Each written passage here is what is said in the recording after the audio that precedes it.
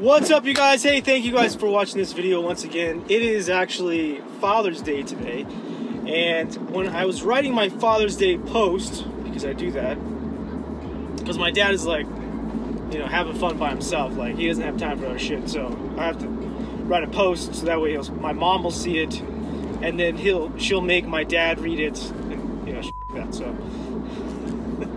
anyway. I'm thinking about that, and I'm thinking about like, you know, how I got into medicine. Some of you guys know that my dad was big into hunting, and he taught me, like, he took me hunting when I was really young. I am gonna get to a point in this video. Actually, I have a really good topic.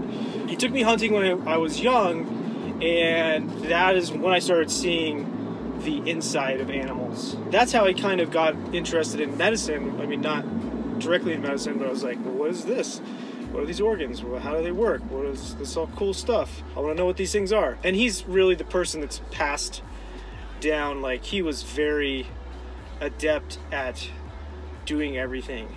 And he got me into skiing, and that's one of my number one things that I love to do. And I was thinking about that, and then why I went to medicine. And then the question I always get how do I choose to go into medicine? How do I choose what area in medicine to go into?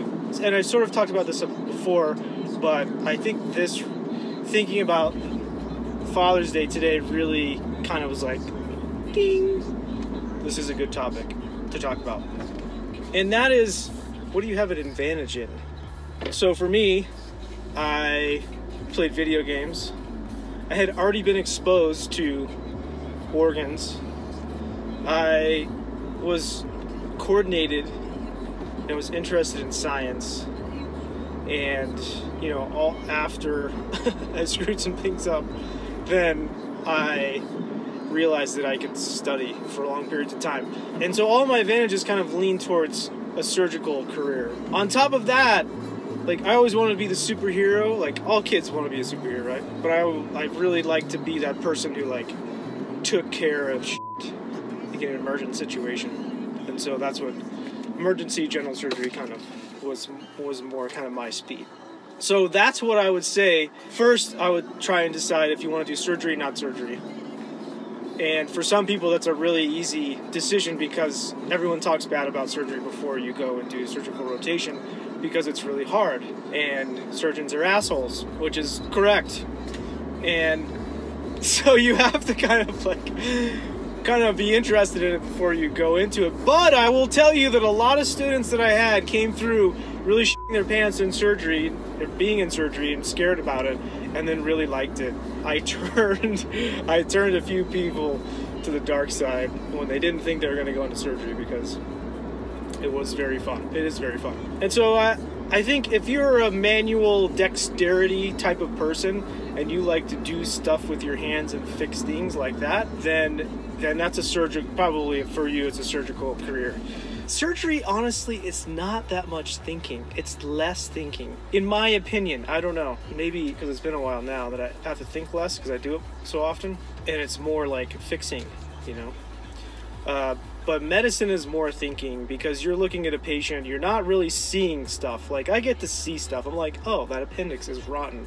Oh that gallbladder is rotten. Oh i have to do like this part you know there's a peptic ulcer here. I got to do a gastrojejunostomy. You're like and i get to put them together and i go like this is, this look good? This look pretty good. I, I don't know this little pink you know this is pink and this is the you know purple. I don't know if this this is gonna live and you know like so i get to see stuff I couldn't do medicine if I if I never saw like, you know, what was going on. Because a lot of I think I feel like a lot of medicine is like you're taking signs and symptoms here and there, and you're putting them together, and you're kind of building a a map or a you know an image in your head about what's going on in there.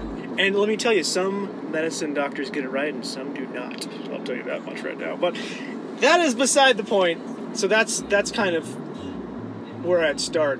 And then and then like when you're studying this stuff, okay, and you're and you're in med school and you're like, "Oh, the kidney is amazing. Holy shit, look at all the things this kidney does. Maybe you should be a nephrologist." Or uh, the, the heart and the cardiovascular system, you're like, "Wow, this is amazing." then you maybe start thinking about cardiology or cardiothoracic surgery, depending you know, if you're somebody that likes to fix stuff. Anyway, you should basically go into surgery, okay, because it's more fun. If you don't like fun, go into medicine. That's a joke.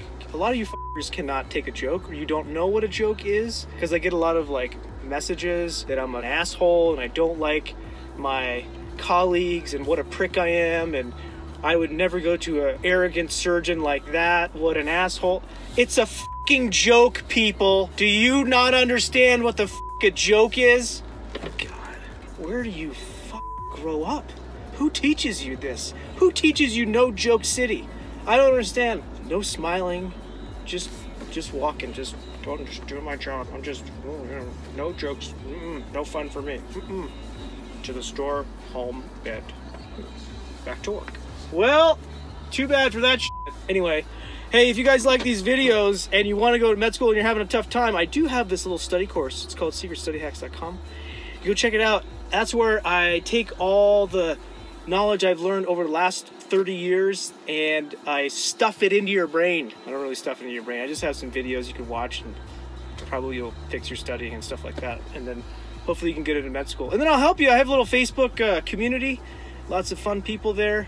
Positive people, not these douchebags on that studentdoc.net or org or something. I don't know. So if you guys are interested in something like that, check it out. If not, keep watching these videos unless uh, YouTube uh, cuts me off because I just ramble sometimes. I got it from my mom. Also, she rambles. They tell stories, my family. They tell long, long stories, and they never get to the end, basically, or the punchline. It's kind of like these videos. All right, you guys. Hey, thanks for watching these videos. You guys are awesome. Subscribe, like, share, comment if you would. And I'll see you in the next one.